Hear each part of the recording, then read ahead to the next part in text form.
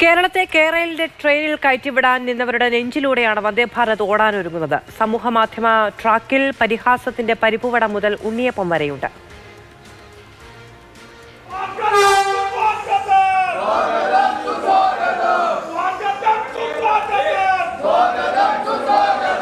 കൂറ്റനാട്ടെ ആ കുടുംബശ്രീ പ്രവർത്തകർ ഇനി എന്ത് ചെയ്യും? ഞാൻ എപ്പോഴും പറഞ്ഞുകൊണ്ടിരുന്നു നമ്മുടെ അപ്പുണ്ടാക്കുന്ന പ്രധാനപ്പെട്ട സംഘടനല്ലോ നമ്മുടെ കുടുംബശ്രീ. അവർക്ക് ഈ അപ്പവും കൊണ്ട് ഏടെ വേണമെങ്കിലും കൊണ്ടുപോയി വെക്കാം അരമണിക്കൂർ മുക്കാൽ മണിക്കൂറിന്റെ യാത്രയേ ഉള്ളൂ. കൊട്ടയായിട്ട് കൊണ്ടുപോയിട്ട് നല്ല മാർക്കറ്റുള്ള സ്ഥലത്ത് കൊണ്ടുപോയിട്ട് വിറ്റ് അപ്പം തന്നെ കൊണ്ട് തിരിച്ചു വരിക. രാവിലെ വീട്ടിൽ നിന്ന് ചായയും കുടിച്ച് പോവുക. ഉച്ചയ്ക്ക് ഭക്ഷണം കഴിക്കാനാവുമ്പോഴേക്ക് സാധനവും വിറ്റ് നല്ല ലാഭവും നേടി അവർക്ക് തിരിച്ചു വരാൻ കഴിയും. അതാണ് കുടുംബശ്രീക്കുള്ള നാട്ടം. വന്ദേ ഭാരതിൽ കയറിയാൽ ഉച്ചയ്ക്ക് മുൻപ് മടങ്ങി വരാനാകുമോ എന്തോ? ഗോവിന്ദ മാഷക്കും ഏറെ സന്തോഷിക്കാൻ സാധിക്കും. ഷോർണൂരിൽ നിന്ന് അപ്പവുമായിട്ട് തിരുവനന്തപുരത്തേക്കും തിരുവനന്തപുരത്ത് നിന്ന് അത് വിറ്റ് ഷോർണൂരിലേക്കും വളരെ പെട്ടെന്ന് എത്തിക്കാൻ സാധിക്കും.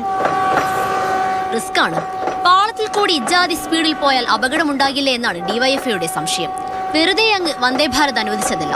ഇതൊരു പൊളിറ്റിക്കൽ ട്രെയിനാണ്. സിൽവർ ലൈനിന് ബദലായിട്ട് ഇങ്ങനൊരു ഒരു ട്രെയിൻ ഇട്ട് ഇനി കേരളത്തിന്റെ അത്തരം വികസന കാര്യങ്ങളെക്കുറിച്ചൊന്നും ഇനി ചർച്ച ചെയ്യേണ്ടതില്ല എന്ന് സ്ഥാപിക്കുന്നത് പിന്നിൽ കൃത്യമായ രാഷ്ട്രീയമുണ്ട് എല്ലാ സംസ്ഥാനത്തും നേരത്തെ കിട്ടേണ്ടതാണ്. ഇപ്പോൾ ഇപ്പൊ കിട്ടിയതെന്തോ മഹാകാര്യമാണ് എന്ന രൂപത്തിലൊന്നും പറയേണ്ട കാര്യമില്ല. അതൊക്കെ നേരത്തെ കേരളത്തിന് അനിവാര്യമായും കിട്ടേണ്ട ഒന്നായിരുന്നു. ആ പൊളിറ്റിക്കൽ ട്രെയിൻ ആക്കിയതിന്റെ മുൻ സീറ്റിൽ മുഖ്യമന്ത്രിയും ഒരു മഞ്ഞ കുറ്റിയുമുണ്ട് കല്ലിടാൻ ഞങ്ങൾ ഒരു ജീവൻ പോയാലും കല്ലിടാൻ ഞങ്ങൾ സമ്മതിക്കില്ല എം എൽ എനെ ഞങ്ങൾ കത്തിക്കും ഞങ്ങൾ എം എൽ എ ജോൺ മൈക്കിളിനെ കത്തിക്കും എന്തൊക്കെയായിരുന്നു? നാടിന്റെ വികസനമാണ് പ്രധാനം. ഒരു സർക്കാർ എന്ന് പറയുമ്പോൾ അത് പ്രതിജ്ഞാബദ്ധമാണ്. ഏതെങ്കിലും ചിലര് എതിർക്കാൻ തയ്യാറായി എന്നതുകൊണ്ട് മാത്രം ഉപേക്ഷിച്ചു പോകാൻ പറ്റുമോ അതുകൊണ്ട് ഒരു കാര്യമേ പറയാനുള്ളൂ. നാളത്തെ ഭാവിക്ക് ആവശ്യമായ പദ്ധതികൾ. അത് നടപ്പാക്കാൻ സർക്കാർ പ്രതിജ്ഞാബദ്ധമാണ്.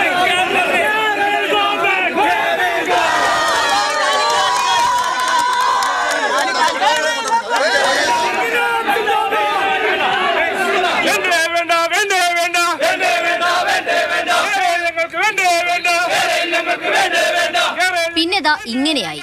സിൽവർ റെയിൽ പോലുള്ള വികസന പദ്ധതികളാകുമ്പോൾ അതിന് കേന്ദ്ര അനുമതി വളരെ പ്രധാനമാണ് കേന്ദ്ര അനുമതി ഇല്ലാതെ നടത്താൻ പറ്റില്ല. അപ്പോൾ അതിന്റെ വലിയ എതിർപ്പുകൾ ഉയർത്തിക്കൊണ്ടു വന്നാൽ അത് സ്വാഭാവികമായും ബി ജെ പിയും കൂടി അതിന്റെ കൂടെ ചേരുമ്പോൾ കേന്ദ്ര ഗവൺമെന്റ് അനുമതി തരുന്ന കാര്യത്തിൽ നേരത്തെ അനുകൂല നിലപാടൊക്കെയാണ് സ്വീകരിച്ചെങ്കിലും ഒന്ന് ശങ്കിച്ചു നിൽക്കും. അപ്പോൾ അനുകൂല നിലപാട് വന്നാൽ മാത്രമേ നമുക്കതുമായി മുന്നോട്ട് പോകാൻ കഴിയുകയുള്ളൂ. കേരളത്തിലെ ബി ജെ പി നേതാക്കൾ മിനിഞ്ഞാന്ന് രാവിലെയാണ് ട്രെയിൻ വരുന്നത് അറിഞ്ഞത്. എങ്കിലും പറ്റും പോലെയൊക്കെ ആഘോഷമാക്കുന്നുണ്ട്.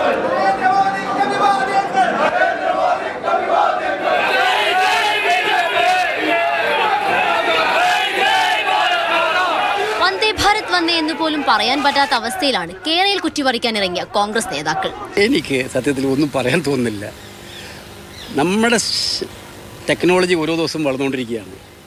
ടെക്നോളജി വളരുന്നതനുസരിച്ച് പുതിയ പുതിയ സംഭവങ്ങൾ രാജ്യത്ത് വരും. അത് ഏതെങ്കിലും ഒരു സർക്കാരിന്റെ മാത്രം കോൺട്രിബ്യൂഷനോ സി പി എം സൈബറിടങ്ങളിലാണെങ്കിൽ പതിവില്ലാത്ത മൗനമാണ്. പഴയ സിൽവർ ലൈൻ ട്രെയിനിന്റെ പടം പോലും പോസ്റ്റ് ചെയ്യാൻ പറ്റില്ല.